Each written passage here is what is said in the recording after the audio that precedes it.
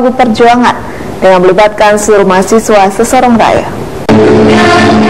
Lomba Karya Cipta Lagu Perjuangan yang dipusatkan di Makorem 171 Praja Virata Marumu Sorong menjelang HUT TNI ke-71 diikuti kurang lebih 10 mahasiswa sesorong raya. Kegiatan lomba ini diharapkan dapat menjadi wadah untuk memupuk jiwa patriotisme serta memotivasi para generasi muda untuk berperan aktif dalam berbagai agenda pembangunan.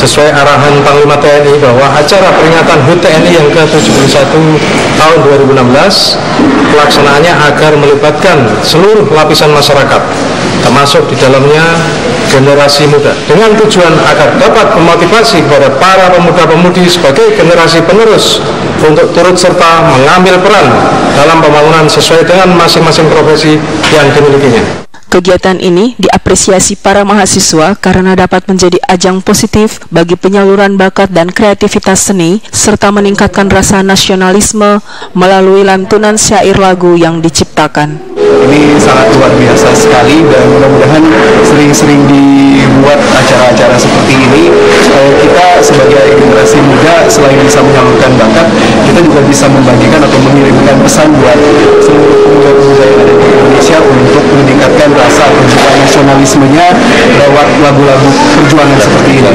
Semoga TNI menjadi lebih dekat lagi dengan rakyat, lebih bisa berbuat banyak lagi untuk rakyat, menjadi pelindung rakyat, dan pokoknya selalu ada untuk rakyat. Selain para petinggi di jajaran Korem 171 Praja Viratamas serta Lantamal 14 Sorong, turut hadir dalam pelaksanaan lomba tersebut, Kadispora Kota Sorong Fanik Tehupiori mewakili pemerintah kota. Dari Kota Sorong, Anggreni Sumbung, CWM Channel.